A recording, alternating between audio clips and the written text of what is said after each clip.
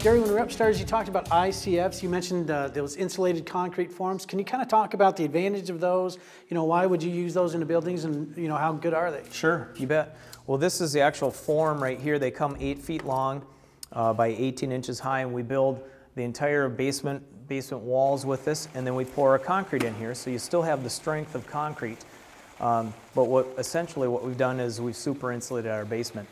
Uh, typical basement is going to be about an R11, and this is an R value of 22. So it's just much warmer. Uh, it's, it's actually safer because you don't have the issue of mold growing. Um, we're stopping the cold on the outside, and you can actually see here, um, here's the panel, the uh, outside or inside insulation and the outside. What we do is we waterproof the outside with a peel and stick membrane.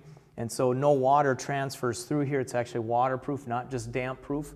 And then on the inside, uh, we screw our sheetrock right to the, the tabs, and you can see kind of a cutaway. There's some black plastic tabs, and we line these all the way up. So floor to ceiling, you have essentially an inch and a half wide stud uh, in that's that's buried behind the the uh, foam, and so you can actually screw your sheetrock right to this. So essentially, with with uh, stopping the cold on the outside, uh, you're not going to have a freezing wall on the inside. That if you don't totally seal that up, uh, you're going to have mold growing. If you have if you fill that cavity full of fiberglass, we don't have that issue with an ICF because we're stopping it from the outside, and then it's just foam here. So there's no place for mold to start growing. And so it, it's, it just uh, translates into a much warmer basement. It's safer.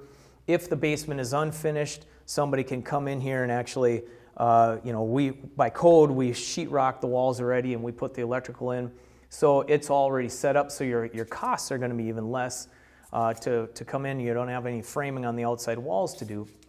It's all ready to go. So it just it's a it's a quieter system, it's safer, and uh, it's just that much more thermally efficient too.